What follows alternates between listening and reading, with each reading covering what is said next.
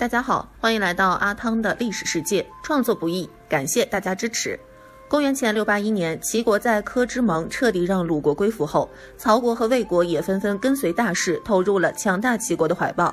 现在只有宋国和郑国两个中原大国没进入齐联盟体系了。宋国实力与齐国相差无几，自然不肯轻易就范；而郑国在强大楚国北进的压力下，不得已归服了楚国，自然也不肯给齐国好脸色。毕竟楚国距离更近，这是近在咫尺的威胁。而就在这时，新即位不久的宋桓公为稳固权势，竟然发动大军攻打齐国。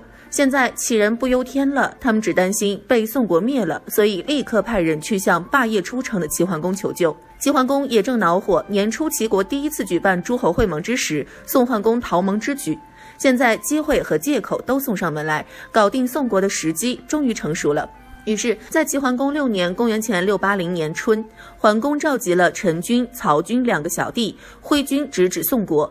不过这次齐桓公学乖了，他总结当初北信之盟失败的经验教训，在兵发之前，特意亲自去了成州一趟，告宋桓公背盟并亲齐人的雕状，并请示周天子同意此次他们伐宋之举。周天子当然同意，不但同意，而且倍儿开心，倍儿欣慰。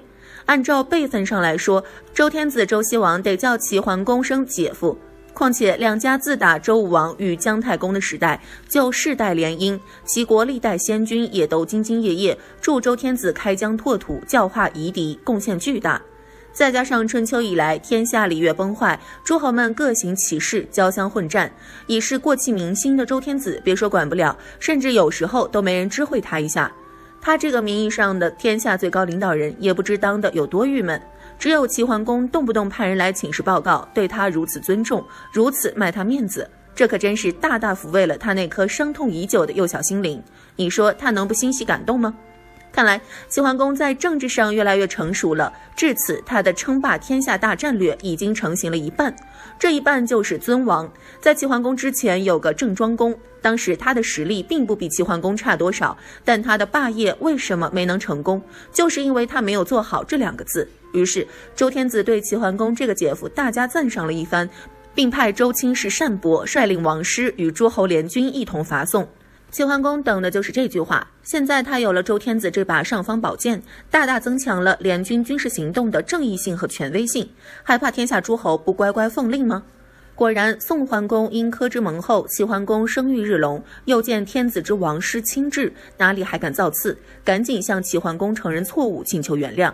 齐桓公大方地原谅了宋桓公，并表示以后两国要团结起来，一致对外，互惠互利，齐心协力，共同为世界和平做出自己的贡献。宋桓公感激涕零，当即表示无条件支持齐桓公当霸主，谁敢反对，我宋国第一个跟他干。宋乃好古之国，从来最慕仁义。当年郑庄公不够仁义，所以宋国老是给他捣蛋，搞得郑庄公只能小霸一下，而无法进入春秋五霸之列。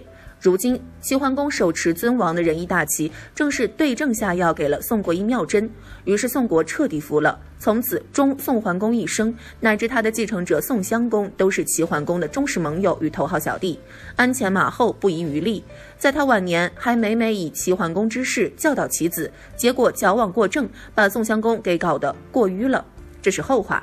现在临近齐国的宋国和鲁国都已经投诚，宋桓公便决定将霸业推向更远的地方。郑国是中原大国，却违抗王命，投靠楚蛮，必须赶紧搞定，以儆效尤。于是管仲给齐桓公定计，用以弟篡兄、犯愤逆伦的名义，把现任郑君赶下台，扶持流亡在外十七年的郑立公复位。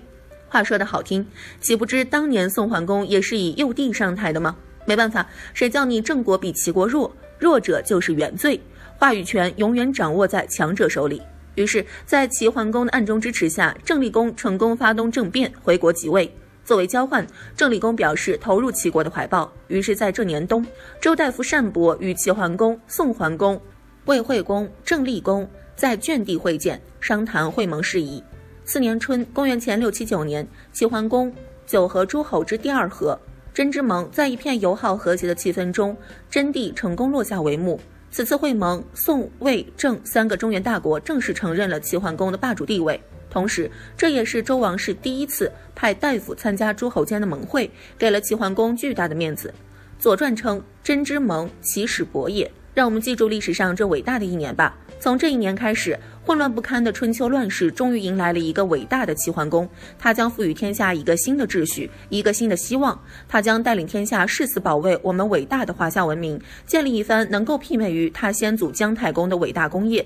齐桓公花了七年的时间，终于成为了春秋历史上第一位霸主。然而，在霸业之初，他的地位并不稳固。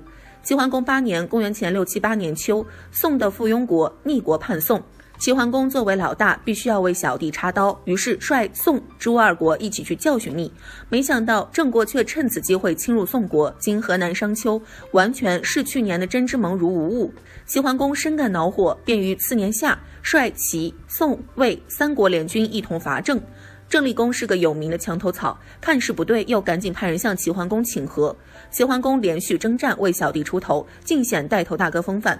这就是老大，老大就是既为自己的利益插小弟两刀，也为兄弟的利益插别人两刀。而为了重申国际秩序，共尊王室权威，维护世界和平，齐桓公决定趁此机会再举行一次诸侯盟会。是年冬，齐、鲁、宋、陈、魏、郑、许、华、滕九国大会于幽地，这便是齐桓公九合诸侯之第三合，也是春秋初年最盛大的一次盟会——幽之盟。这里要顺便解释一下，所谓齐桓公九合诸侯，并不是说齐桓公只举办了九次盟会，而是泛指多次盟会。因为九是周易中的阳数之极，古人常用它表达多的意思。其实，据实际史料统计，齐桓公在位四十三年，召集和主持诸侯国间的大小会盟达到二十二次，这在古代交通不发达的时代是相当夸张的。总之，幽之盟这是一次团结的大会，成功的大会，胜利的大会。这次大会参加的诸侯人数众多，人心最齐，齐桓公的霸业再次升级，进入了一个新高潮。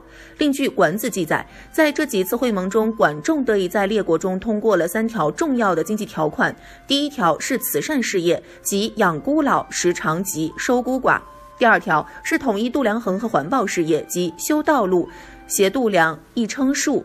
守则以实进发之，意思说各国要修整道路，统统一度量衡，以便各国经济交流。同时还要对山林川泽要按四时之序进行开发利用，不要滥砍滥伐，涸泽而渔。当然，这一条虽然富有远见卓识，但牵涉太多，光靠盟约是很难执行起来的。最终还是得靠三四百年后的商鞅秦始皇。第三条才是关键的重头戏，即规定田租百取五，士赋百取二，官赋百取一。这是要求各国降低田赋和关税，低田赋则是民有余钱，低关税则利于商品流通。这也许是世界上最早的 WTO 吧。今天的经济学家都知道，低税率的政策有利于经济大国的商品输出，但两千年前的执政者却未必都了解这层深意。管仲这是打着古王仁政的旗号，偷偷夹带私货，真是太贵了。总之，齐国通过这几次盟会，大大提高了自身的政治影响力与经济实力。齐桓公和管仲很聪明，他只欺负小弟，管教小弟，却从来没有打算消灭对方。最而小国和都市城邦不算哈，也就是说，齐国只注重在国际上大张齐国利益，却不会对某个国家提出领土要求。在政治上，齐国要的是诸国服从齐国的权威与意识形态；在经济上，则要求诸国开放本国市场，以便齐国的优质产品倾销天下。并趁机控制各国的经济命脉与市场价格。如果对方不就范，那就用道德舆论打压他，联合大家孤立他，或者培养代理人控制他。看看这些招数，多像如今的美国。到了齐桓公十九年前六六七，周惠王终于遣亲士赵伯廖赴齐。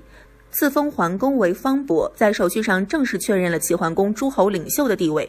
齐桓公的霸业升级、升级再升级，成为了相当于联合国安理会唯一常任理事国的存在。然而，齐桓公，请你不要志得意满，接下来还有更重要的历史使命在等待着你，请你做好准备，大胆的往前走，别回头，莫迟疑，因为蛮夷们也准备好了，准备入侵华夏世界了。天下呼唤春秋霸主的闪亮登场。这将是一个光芒万丈的新起点、新时代。